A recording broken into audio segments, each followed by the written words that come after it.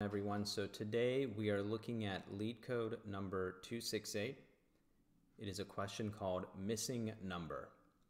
And so we have an array, uh, example one here, we have an input array of 301 and we have 0, 1, we're missing 2, and we have 3, so our output is 2. Here our num is 2, uh, or the length is 2, so n is going to equal 2, so we have 0 and 1 and we're missing 2. And here the length is 9, and so we can count through all of these and we can see that the missing number is 8. Here the length is 1, and so we have 0, but we don't have 1. Okay, so there are three approaches to solving this problem.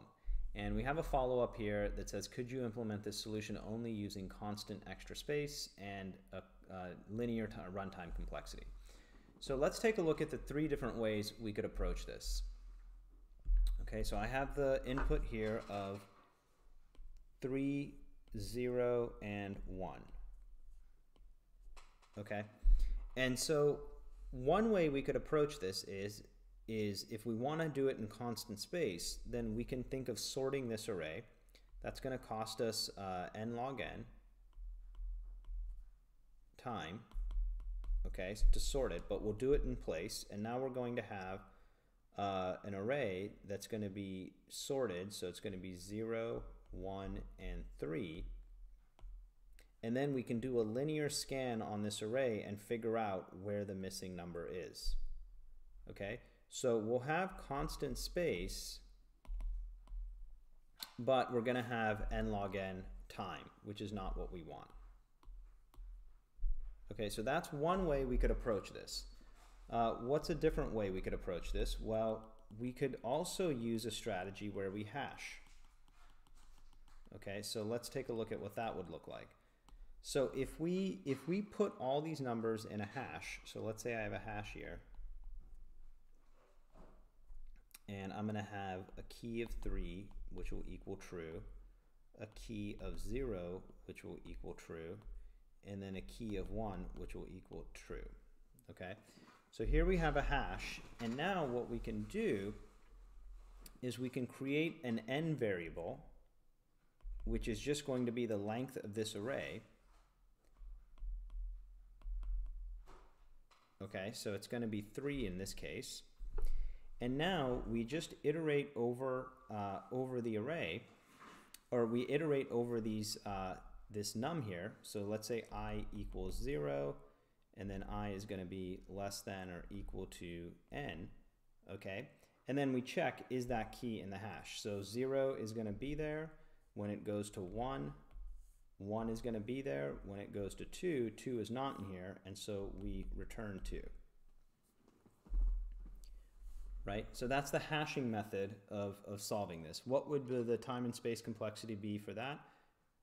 So we're going to have to hash everything. That's going to be linear time. We're going to have to run, we're going to have to scan over it again to find the missing number. That's going to be linear time.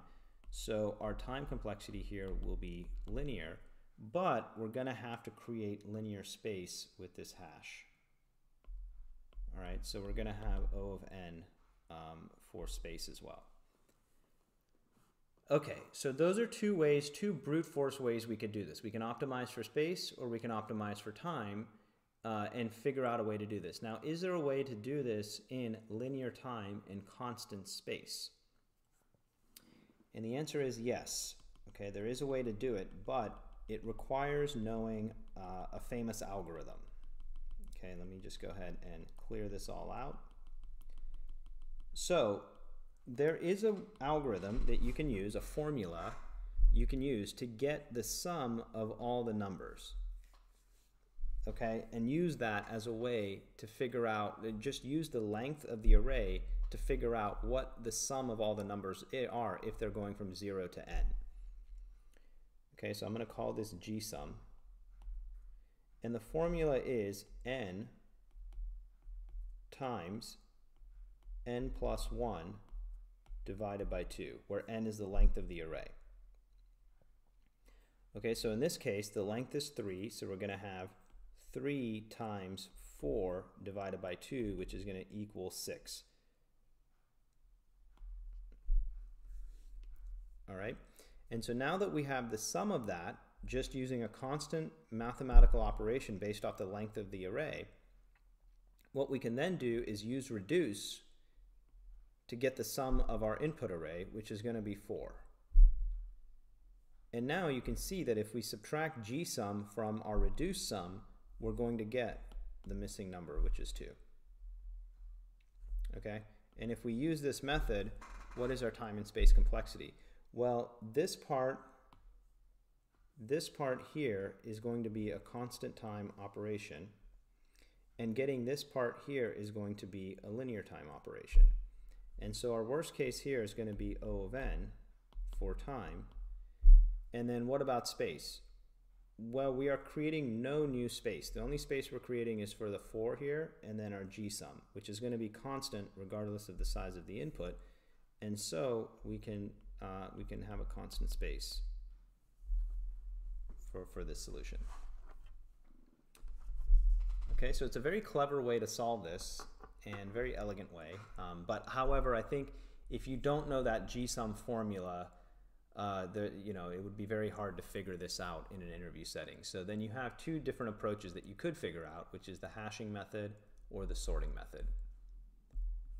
Okay, so let's go ahead and code this out. So here we're going to have our gsum here, which is just going to be nums dot length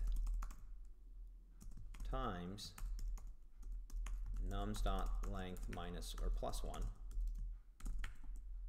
okay divided by 2 I'm just going to put extra parentheses here just to make it clean.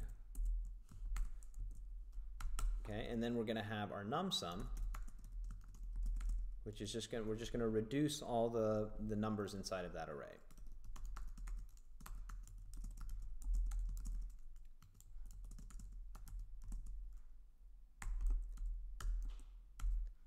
Okay, and then all we have to do is just return our gsum minus our nsum.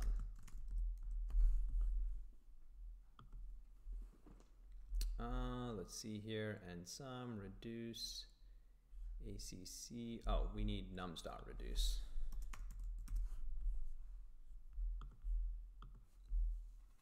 Okay. And so that does it. You can see we get great performance using this method to solve this problem. All right, so that is LeetCode number 268, missing number. I uh, hope you enjoyed it, and I will see you all on the next one.